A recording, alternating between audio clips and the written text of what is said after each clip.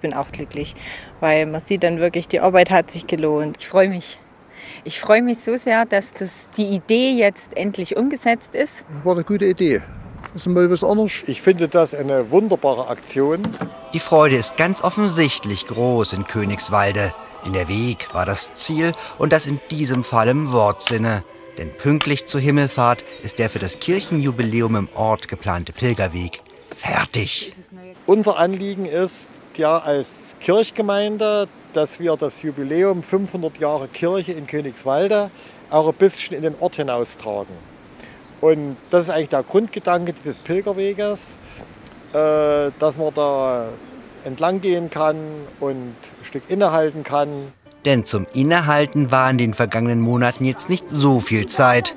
Zwar ist der Pilgerweg nur wenige Kilometer lang, aber er hat es in sich, getreu dem Motto, alle Wege führen nach Rom, aber nur einer um Königswalde herum.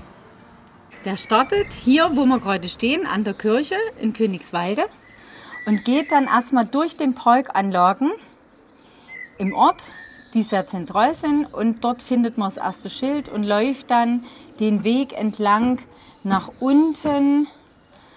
Und hier unten geht es dann berg runter. Und überall, wo hier die roten Punkte gekennzeichnet sind, dort findet man diese Spuren. Die Spuren, 30 Schilder mit Denk- und Sinnsprüchen, sind die I-Pünktchen auf dem Pilgerweg, die die sechs Kilometer quasi in ein begehbares Poesiealbum verwandeln. Sei das Spiegelbild dessen, was du empfangen möchtest. Wenn du Liebe willst, sei liebevoll. Wenn du Ehrlichkeit möchtest, sei ehrlich. Wenn du Respekt willst, sei, sei respektvoll.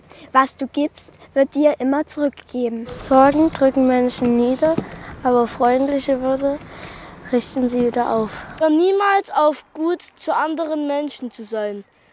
Nur weil andere schlecht zu dir waren. Pilgern für die Füße und für den Kopf also. Und für das, was jeder Einzelne darunter versteht. Pilgerweg ist für mich eigentlich ein bisschen den Alltag zu vergessen, ein bisschen langsamer zu werden, Kraft zu schöpfen und mal vielleicht in sich zu schauen.